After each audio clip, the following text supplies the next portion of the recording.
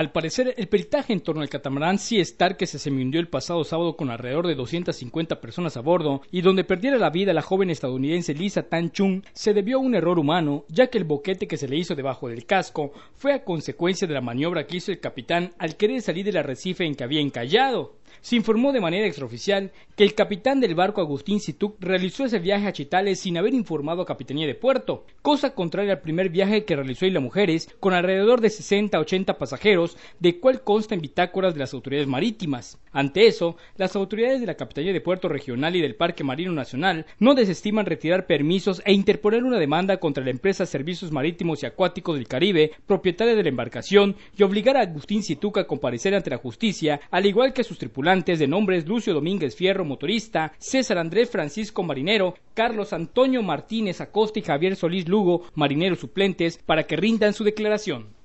En más información, más de 50 vecinos del fraccionamiento del sureste que se encuentra por Punta Sur denunciaron a Manuela Godoy González, exalcaldesa de las Mujeres, y algunos de sus ex colaboradores, así como al titular del IPAE, Luis Peña Alba, por modificar áreas verdes y apropiarse de predios para posteriormente venderlos. Ricardo Gaitán Puerto, vecino afectado, comentó que uno de esos terrenos se encuentra por el área de los manifestantes, donde el prestanombres es Luis Enrique Canto Maldonado. Hemos descubierto, con base en este documento, que el IPAE ha entregado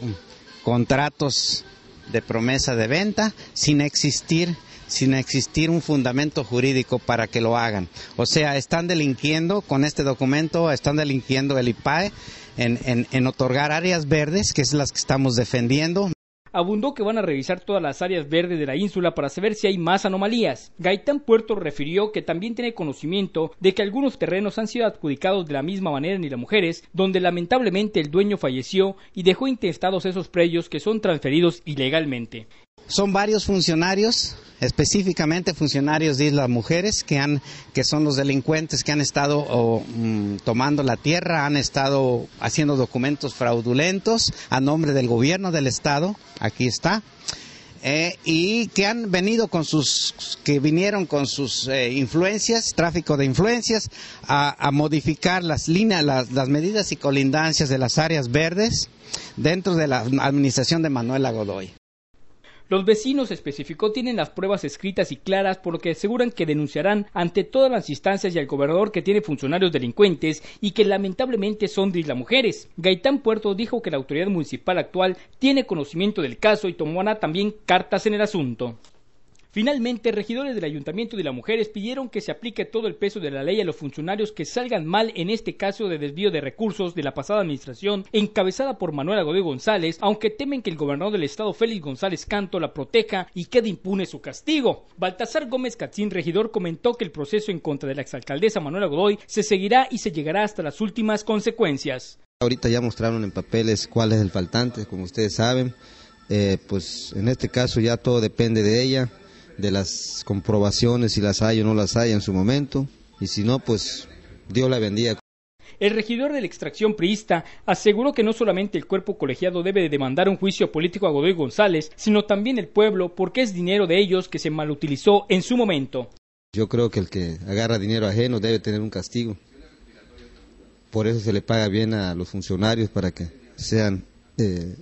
decentes en su trabajo, desempeñen bien su trabajo ya que el pueblo siempre se está muriendo de hambre y algunos cuantos funcionarios siempre están gozándose del dinero del pueblo. En este caso pide que se le aplique todo el peso de la ley a todos los que salgan culpables en este caso, ya que es un fraude y abuso de confianza. Por su parte, el también regidor Juan Basto Chacón destacó. A vistas se ve que hubo un tremendo desvío de recursos, no solo en obras, sino todavía se sigue la revisión y al parecer eh, hay la posibilidad de que se, se, vendieron igual predios, propiedad del fondo legal y que no aparecen también este, pues el dinero, las cantidades en que se, se vendieron. Y todo eso se está revisando y hay probabilidades que aumente